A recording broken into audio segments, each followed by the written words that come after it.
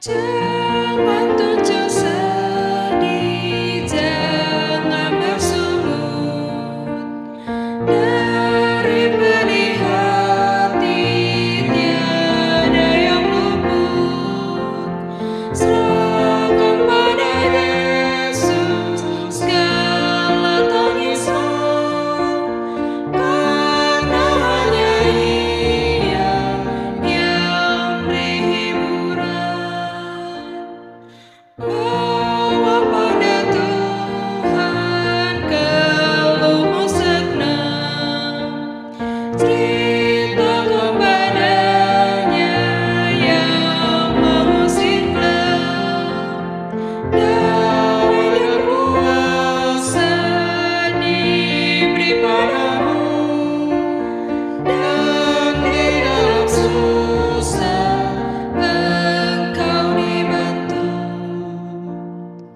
Me.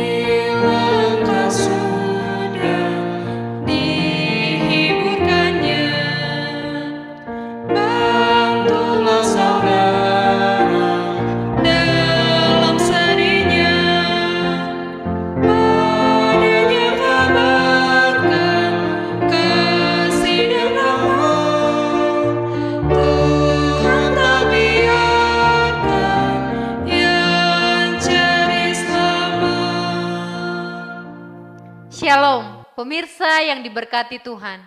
Bertemu kembali dalam seri pelajaran sekolah sabat. Sebelum memulai pelajaran sekolah sabat, mari kita berdoa. Tuhan Allah yang bertata dalam kerajaan sorga, terima kasih Bapa atas berkat penyertaan-Mu sampai pada saat ini.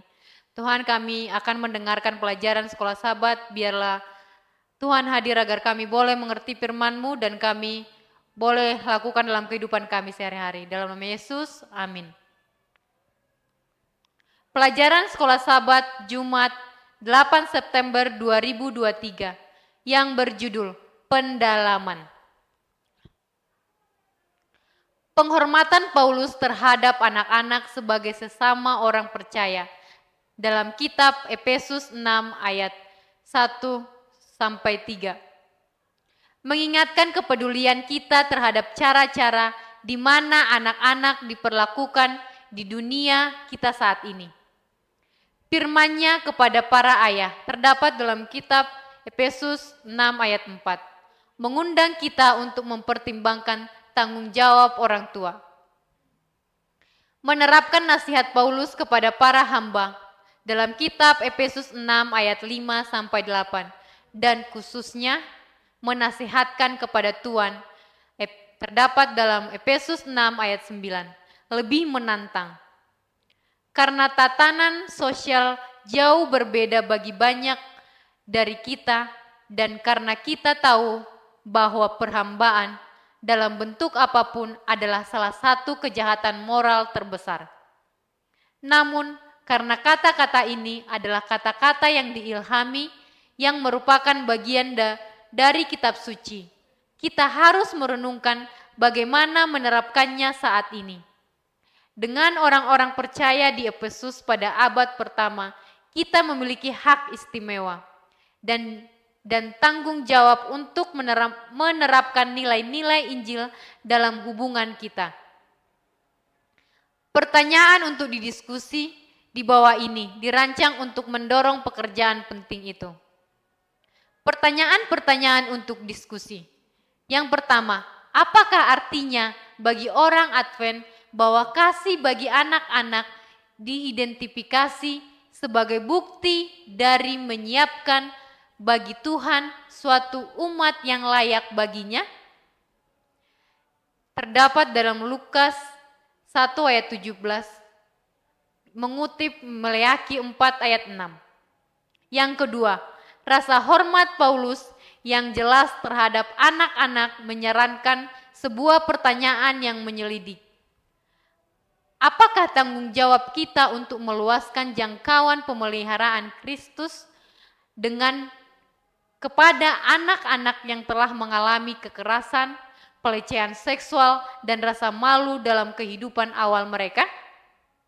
Yang kedua, mengingat penelitian tentang dampak mendalam dari pengalaman masa kecil yang merugikan. Apakah tanggung jawab kita terhadap mereka? Sebagai yang ketiga, sebagai perpanjangan atas penghormatan Paulus terhadap anak-anak dan kepedulian Yesus terhadap mereka. Tanggung jawab apakah yang dimiliki gereja untuk memelihara dan melindungi anak-anak dalam pengasuhannya? Sistem dan prosedur apakah yang perlu diterapkan untuk melakukannya? Nas, yang keempat, nasihat Paulus kepada hamba dan tuan terdapat dalam kitab Efesus 6 ayat 5 sampai 9. Sering diterapkan pada hubungan antara karyawan dan majikan. Dengan cara-cara apakah ini mungkin pantas? Bahaya apakah yang muncul dalam melakukannya?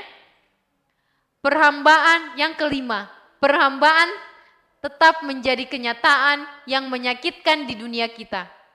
Dan lebih dari 40 juta orang diperhamba yang berdasarkan indeks perhambaan, perhambaan global. Terdapat dalam HTTP WW Global Selperi Index.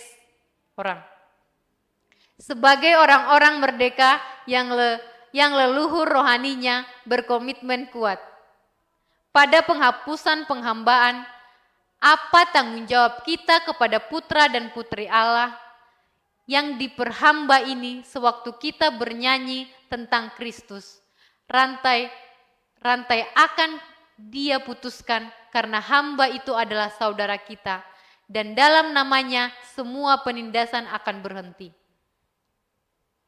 Lirik untuk Oh Holy Night domain domain publik.